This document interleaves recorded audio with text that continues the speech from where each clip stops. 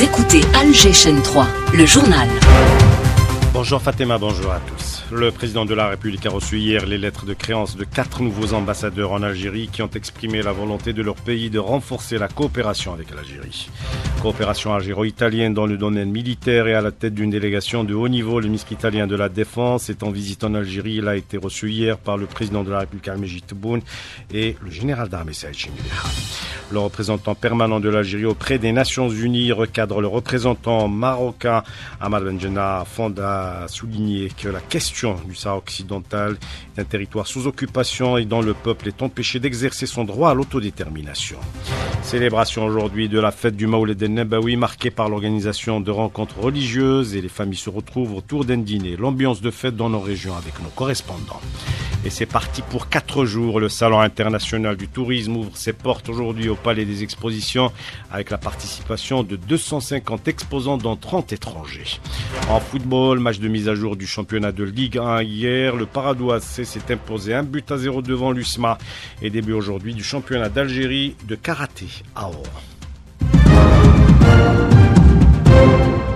Bonjour à tous. Suite à l'incendie qui s'est déclaré dans le nord de l'Irak et qui a fait plus de 100 morts, le président de la République, Majid Tebboune, a adressé un message de condoléances au président irakien Abdelatif Jamal al-Rashid, a indiqué un communiqué de la présidence de la République. Le président de la République a reçu hier les lettres de créance de quatre nouveaux ambassadeurs en Algérie, suivis d'entretiens.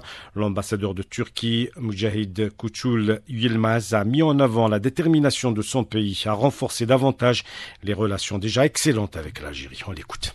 Nous suivons le développement et la transformation économique de l'Algérie sous le mandat du président Tebboune avec beaucoup d'appréciation. Nous serions très heureux de pouvoir contribuer à la construction de la nouvelle Algérie avec de grands projets d'infrastructure qui pourraient être réalisés par les entreprises turques. Nous accueillerons bientôt Monsieur le Président Erdogan en Algérie aussi. Cette densité de visites officielles seule témoigne du au niveau qu'on atteint dans nos relations bilatérales.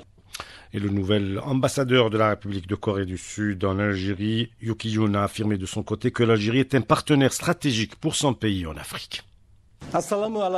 Je suis très heureux de pouvoir entamer ma mission en Algérie en tant qu'ambassadeur de la République de Corée du Sud en Algérie, notre partenaire stratégique dans le continent africain. La Corée du Sud et l'Algérie entretiennent d'excellentes relations basées sur le respect mutuel et la coopération, et ce, depuis l'établissement des relations diplomatiques depuis trois décennies. Nous œuvrons à développer la coopération entre nos deux pays dans les domaines du commerce, de l'investissement, des douanes électroniques et de la sécurité alimentaire et l'industrie environnementale. le nouvel ambassadeur de France en Algérie, Stéphane Romal, a indiqué pour sa part que les deux pays entretiennent une relation d'une exceptionnelle densité plaidant pour un dialogue confiant. L'écoute une relation euh, d'une exceptionnelle densité. Il faut donc, euh, sur ces liens qui sont exceptionnels et que la France n'entretient avec aucun autre pays au monde, nous puissions euh, progresser, permettre à l'Algérie d'assurer ses grands projets dans le cadre de l'Algérie nouvelle, engager aussi un dialogue confiant entre la France et l'Algérie sur tous les grands défis qui affectent notre environnement, profiter aussi de la présence de l'Algérie au Conseil de sécurité pour intensifier notre dialogue sur les grandes questions politiques voilà euh, ce que j'ai évoqué lors de mon entretien avec euh, le président Tebboune en lui euh, délivrant un message personnel du président Macron. Enfin, le Danemark et l'Algérie ont une volonté commune de renforcer davantage les relations bilatérales dans divers domaines. C'est ce qu'a indiqué la nouvelle ambassadrice du Royaume du Danemark en Algérie, Catherine Fram-Hoyer. Algérie et Danemark ont des relations bilatérales solides fondées sur le respect mutuel. Nous avons une collaboration solide et diverse par exemple dans le domaine de santé, de commerce, d'énergie, et nous avons le désir commun de renforcer nos relations bilatérales. Et la première étape concrète sera la visite du ministre danois des Affaires étrangères dans le cadre de la réunion des ministres des Affaires étrangères de pays nordiques et africains ici à Alger le mois d'octobre. La coopération algéro-italienne, cette fois-ci dans le domaine militaire et à la tête d'une délégation de haut niveau, le ministre italien de la Défense est en visite de travail en Algérie. Il a été reçu hier par le président de la République, chef suprême des forces armées, ministre de la Défense nationale. Et au sortir de l'audience, Guido Crossetto souligne l'impératif de développer davantage la coopération multisectorielle avec l'Algérie. On écoute. Nous avons mis l'accent sur l'impératif de développer davantage la coopération entre l'Italie et l'Algérie dans l'objectif de consacrer la stabilité dans la région du bassin méditerranéen, mais aussi la région du Sahel. Nous œuvrons à développer la coopération entre les deux pays dans le domaine de l'industrie, car l'Italie est convaincue que l'Algérie est un partenaire stratégique en Afrique. Dans les mois à venir, nous allons œuvrer à élaborer un plan d'action pour faire face aux défis auxquels sont confrontés nos deux pays. Nous avons convenu de développer la coopération entre les deux institutions militaires algériennes et italiennes. Nous sommes ici également pour consacrer le plan Mattei pour le développement de l'Afrique, élaboré par Giorgia Miloni le ministre italien de la Défense qui a été reçu auparavant par le général d'armée, chef d'état-major de l'Ain, Pesaï Chengeli qui a mis en avant dans son allocution la coopération militaire excellente et les relations historiques entre les deux pays.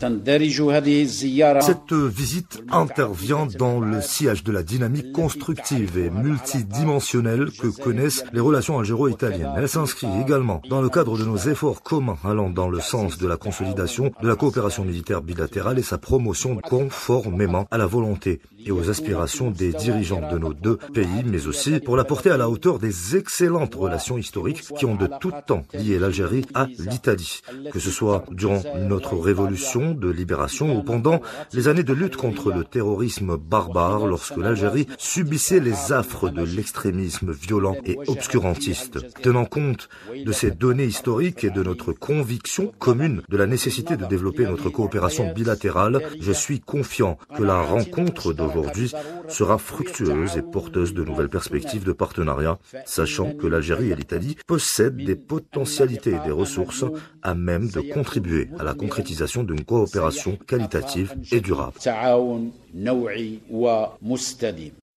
Le rapporteur spécial des Nations Unies sur les droits à la liberté de réunion pacifique et à la liberté d'association a joué sa visite officielle en Algérie. Invité par les autorités algériennes, il a salué leurs efforts et volonté de promouvoir davantage les droits de l'homme après en avoir pris connaissance sur le terrain. Shakib Benzaoui.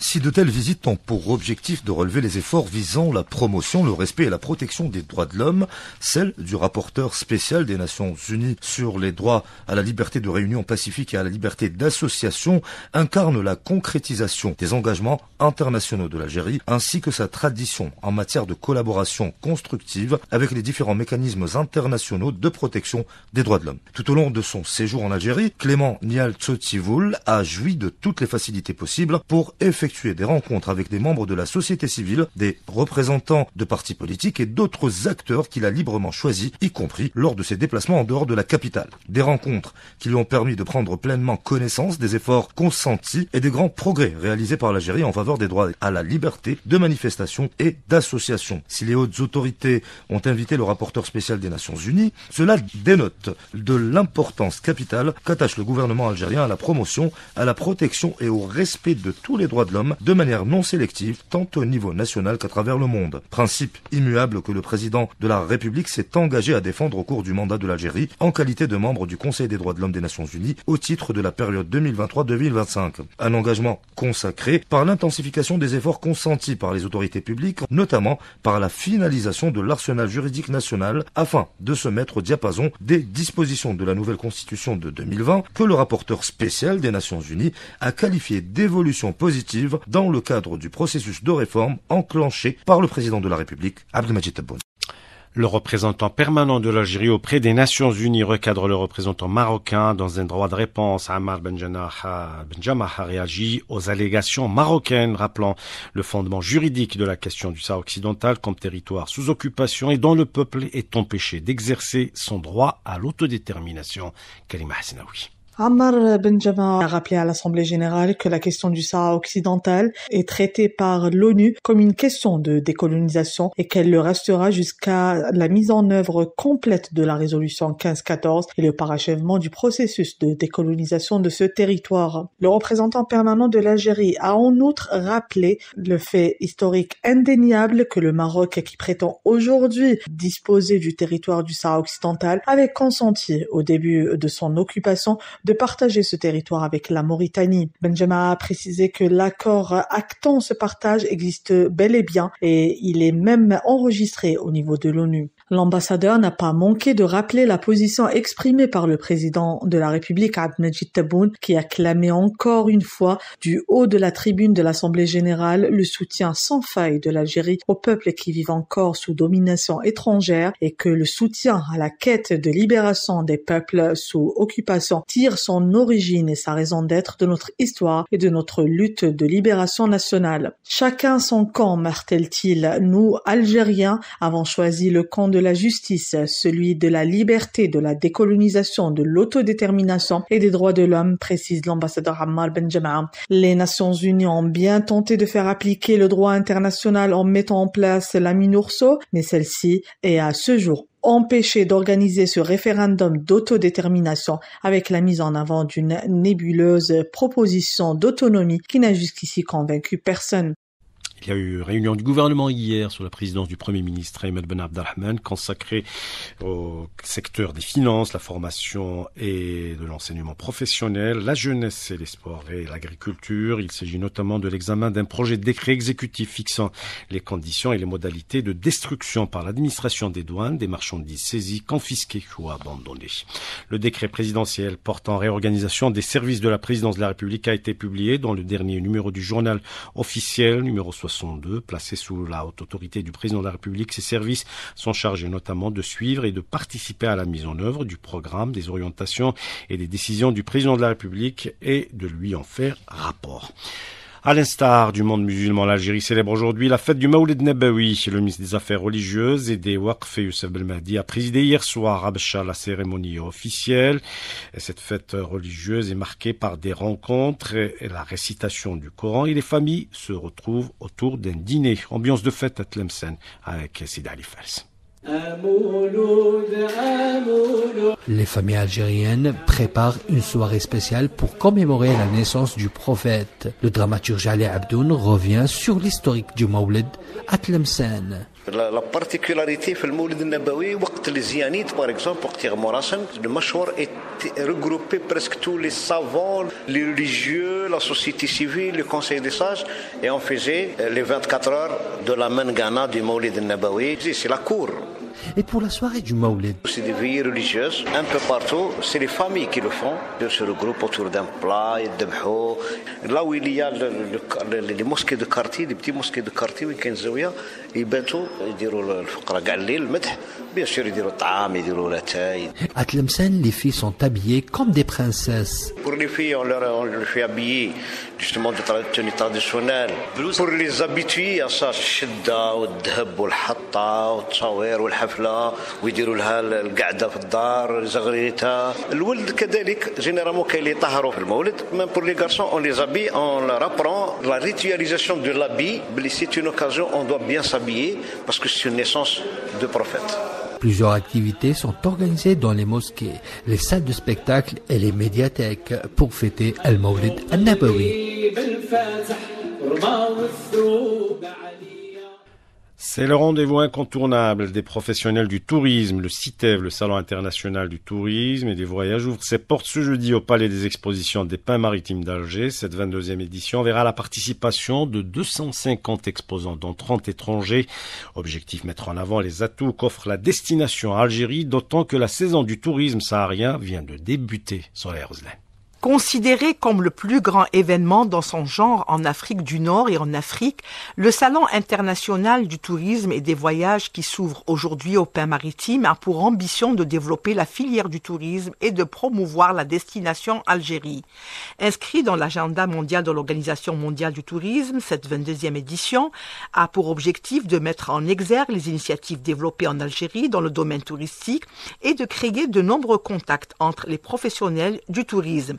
L'édition de cette année verra la participation de différents acteurs et partenaires publics et privés, notamment les agences de voyage, les établissements hôteliers, les offices de tourisme, les compagnies aériennes et les influenceurs activant dans le secteur touristique. Parmi la participation étrangère, les offices et institutions gouvernementaux étrangers chargés de la promotion du tourisme, en marge de ce salon, plusieurs activités sont prévues dont l'organisation d'une journée d'études sur le tourisme et sur le thème du salon Green Invest. Des espaces seront également consacrés au secteur de l'artisanat, ainsi que la tenue d'un espace dédié aux enfants intitulé Découvre la beauté de ton pays. À rappeler enfin que cette 20e édition du Salon international du tourisme coïncide avec le lancement de la saison touristique saharienne.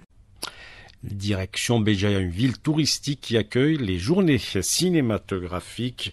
Hier, le public était nombreux euh, durant la projection du film La Dernière Reine, un public conquis que Nesseline Dahmoun a rencontré après la projection. Le film, on l'a trouvé extrêmement euh, beau esthétiquement déjà. Pour l'histoire, on était en train de se dire est-ce que c'est vraiment enfin, arrivé ou pas, mais apparemment, euh, on ne sait pas. C'est arrivé, mais la reine, on ne sait pas si elle a vraiment existé. Demirad, elle était excellente, même ravissante. Bon, oui, le film nous a plu. Euh, il représente en quelque sorte la réalité de l'époque. C'est la première fois que je le vois. On a entendu parler de ce film, mais c'est une première. C'est vraiment une première. Moi, j'admire euh, la production, la réalisation de ce film. C'était vraiment génial. Moi, j'étais époustouflée par le, les costumes.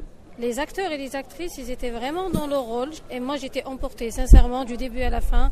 Bravo, vraiment à propos recueilli par notre envoyé spécial à Béjayan, Céline Dahmoun. Du football avec le résultat du match de mise à jour du championnat de Ligue 1 hier, la première journée.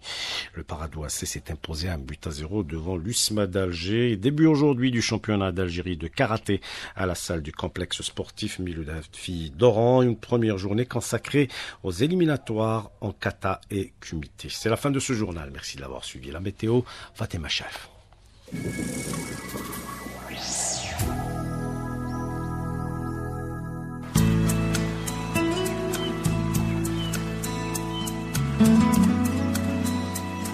Bonjour à tous. Euh, on va garder le même temps, la même tendance météorologique aujourd'hui et ce jusqu'à au moins dimanche prochain. On aura parfois du soleil, parfois des nuages passagers partout dans le pays. Quelques gouttes de pluie sont prévues au sud avec des soulèvements de sable jusqu'à 50 km par heure. Il fera aujourd'hui 30 degrés dans la capitale comme à Saïda, 29 à Oran et Hassermel. Il fera 26 degrés à Mila, Sougaras et Borj 28 degrés à Djeletism Silt. Prévoyez 27 degrés à Béjaïa et Sétif, 31 du côté de Relizane et Bouera, 32 degrés à Schlef et Tlemcen, 33 degrés à Inamenas et Béchar. Si vous êtes à Tizi il y fera 29 degrés, 27 à Annaba, 28 à Sidi Blabès. Prévoyez 31 degrés à Tougourt enfin, 29 à Gardaya. Et on termine aujourd'hui avec l'éphéméride de la wilaya de l'Arwat, où le soleil se couchera à 18h37 avec un taux d'humidité atteignant les 24%. C'est la fin de ce bulletin météo. Merci de nous prêter attention sur Alger 3.